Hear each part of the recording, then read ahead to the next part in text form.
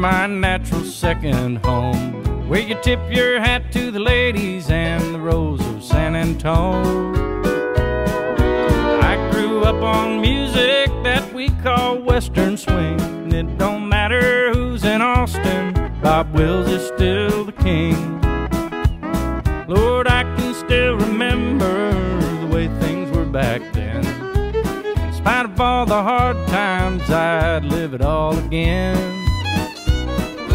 Hear the Texas Playboys and Tommy Duncan sing. Makes me proud to be from Texas, where Bob Wills is still the king.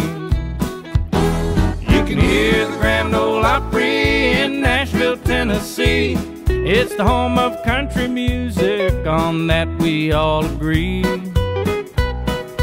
Cross that old Red River hoss, that just don't mean a thing. Cause once you're down in Texas, Bob Wills is still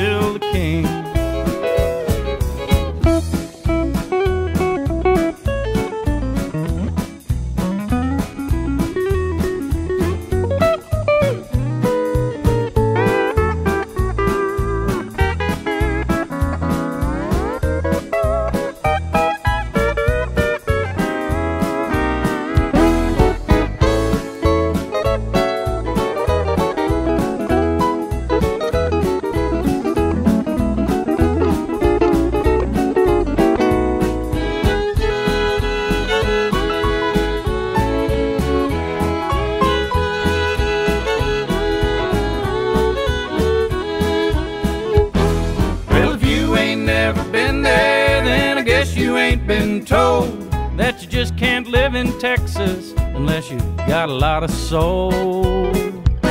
It's the home of Willie Nelson, the home of Western swing. He'd be the first to tell you Bob Wills is still the king.